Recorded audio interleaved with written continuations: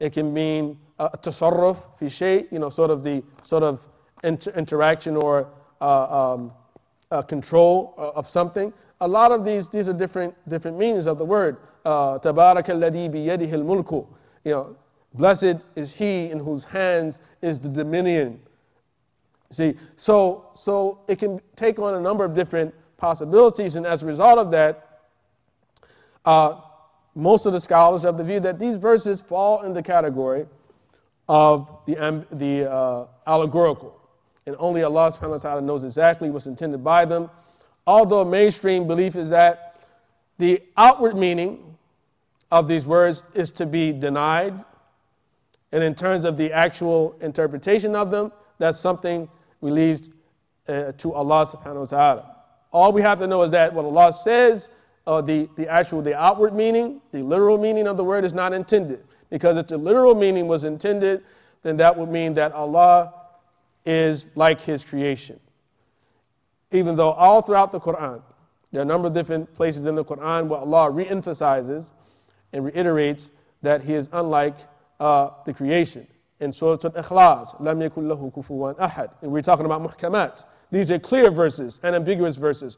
You know, there's nothing comparable to him. He has no uh, uh complement. Uh, uh there's nothing like him. Uh, that also, la تضربوا lillahi amthal. Do not strike similitudes for Allah or for God.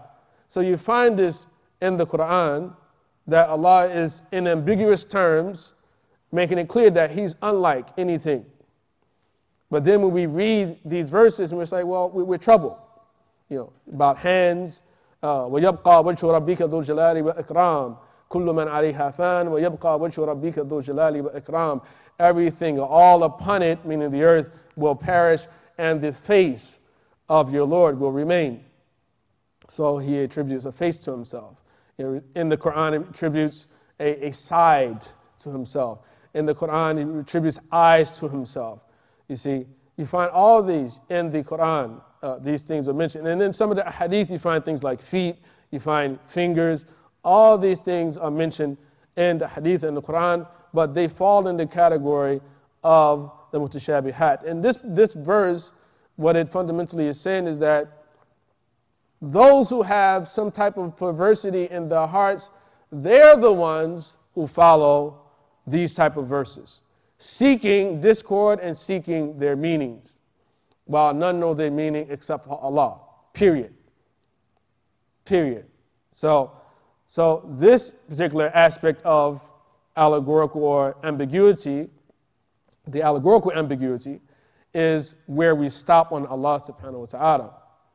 Or we can even include the scholars into this second possibility too and say that even for the allegorical ambiguity, Allah and the, those deeply rooted in knowledge know their meaning. Because Abdullah ibn Abbas, when he was asked about some of these things, he says, أنا من الراسخين الذين يعلمون تأويله.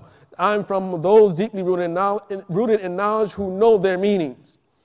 Uh, but the difference between the two is that those who are deeply rooted in knowledge know it in general terms, where Allah subhanahu wa ta'ala, He knows specifically what He meant, He meant by what He meant.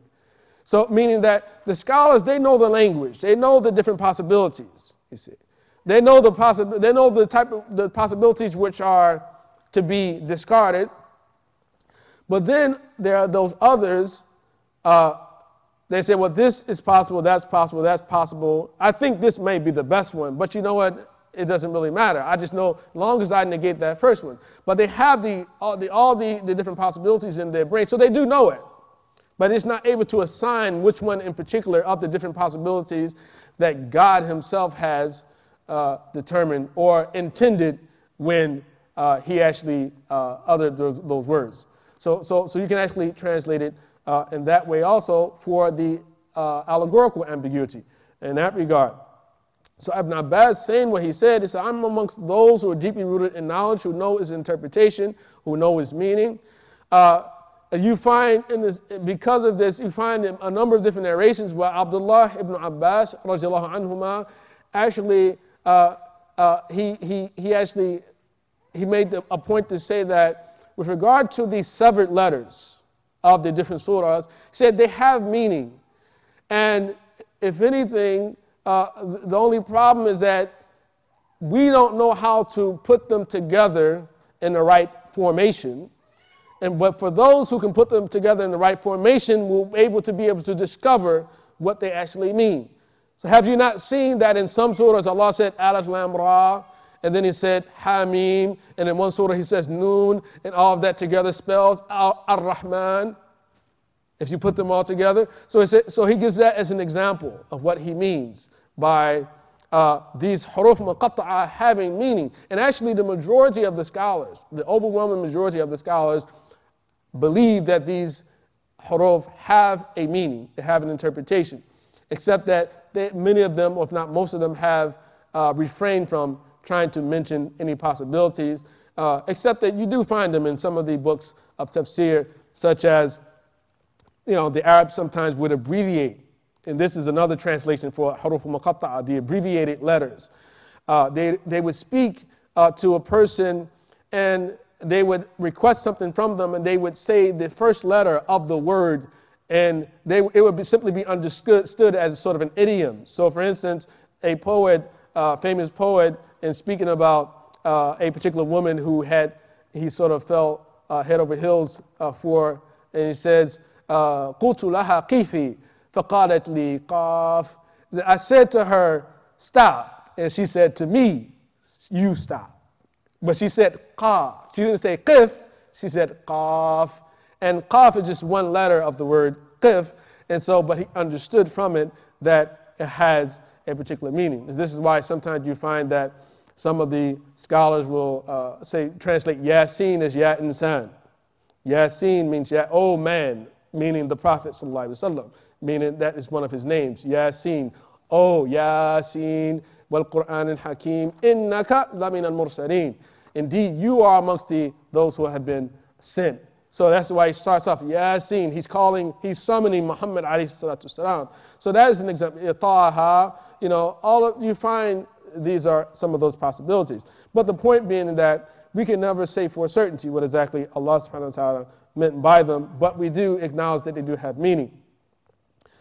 Now, in terms of some of the different uh, um, factions before we uh, open things up, inshallah, some of the different factions in, in terms of the interpretations of these particular uh, types of verses.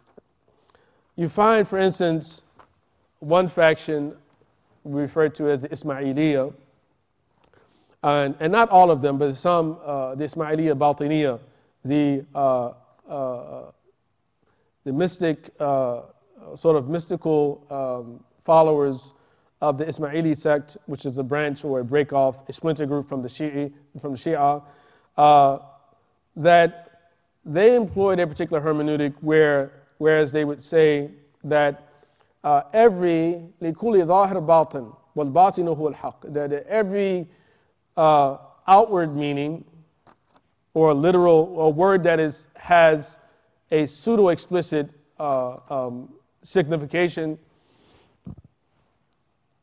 It also has a, a, a, a, figurative interpretation. And the same thing for those which are univocal. That any verse, that every single word and verse in the Quran, although having an outward meaning that it, it points to, it has a subtle hidden meaning. Uh, and that hidden meaning is what actually is understood, or what the truth is. That's where the truth is, in that hidden meaning, not in the outward meaning, which we know is, can be problematic, you see. And, and likely is the reason that when we reflect upon the Amman message that we spoke about during the first class, that when the scholars talked about the eight schools that noticeably they did not include amongst the eight schools the Ismaili sect. Uh, and they also didn't include the Ahmadiyya uh, amongst the, the eight schools